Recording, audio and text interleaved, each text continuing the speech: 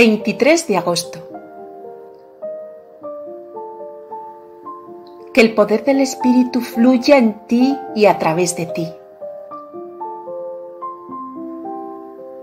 Ábrete a ese poder infinito y date cuenta de que su verdadero secreto reside en mantenerte en estrecho contacto conmigo, en beber de la infinita y eterna fuente.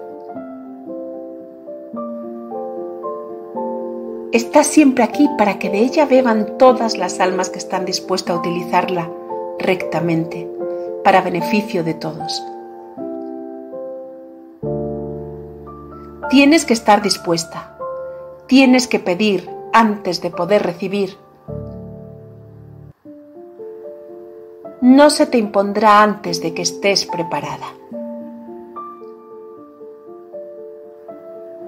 ¿Crees que conmigo todas las cosas son posibles? ¿Lo aceptas como un hecho o todavía albergas dudas y temores que estropean la perfección de tu vida? Hay un ritmo perfecto en toda la vida y cuando guardas ese ritmo fluyes con ella sin esfuerzo alguno y encuentras gozo e inspiración al hacerlo.